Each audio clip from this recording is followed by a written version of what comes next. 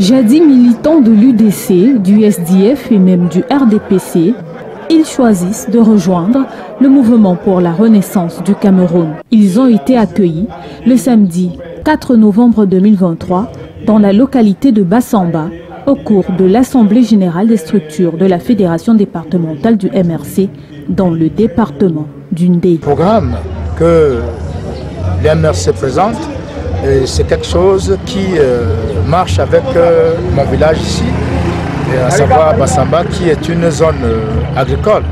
Donc nous pensons que l'MRC aux affaires ici le village va sortir dans la pauvreté. Euh, ne serait-ce que par euh, ce qu'on a vu dès maintenant, on peut être confiant pour l'avenir parce que nous, on n'a pas arrêté le travail. C'est-à-dire on va persévérer. De nouvelles adhésions qui sont le résultat d'un travail de longue haleine salué par les responsables du MRC. Dans le département d'Undé, nous travaillons à une remobilisation partisane des, troupes.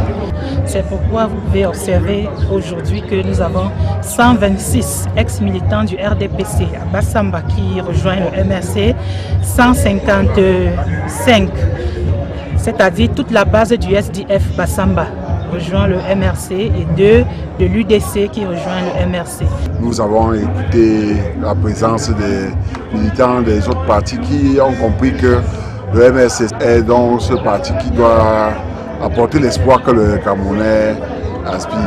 Après la présentation des rapports d'activité, il s'en est suivi au cours de cette Assemblée générale l'installation des nouveaux membres du bureau de la Fédération communale de Bassamba, conscient de l'immense travail à abattre à la veille des prochaines échéances électorales.